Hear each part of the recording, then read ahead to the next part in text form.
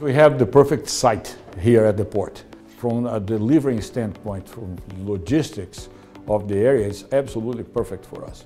We have access to two different uh, railroad carriers. We have access to uh, abundant and cheap natural gas, and we have a workforce that is ready to be deployed. So all these things together make for uh, a perfect spot for our first HBI plant.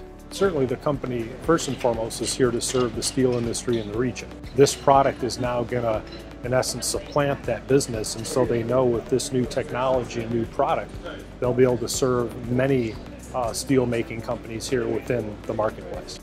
We have good truck access at this site, access to water transportation through the Great Lakes St. Lawrence Seaway System, access to rail, and we built out uh, Norfolk Southern's rail loop here. We also have inexpensive natural gas uh, in abundance here. Probably the second driver for them outside of natural gas was the transportation assets and having the Great Lakes where they're currently mine the iron right now, having this facility here close to the end user and then having those waterways to transport that raw material here is really what made Northwest Ohio and Toledo specifically a perfect spot for this project. Ohio made it simple for us. Had we gone to a different state, we would now be where we were probably six months ago here. It makes things a lot easier when you're talking to people that understand what you're talking about.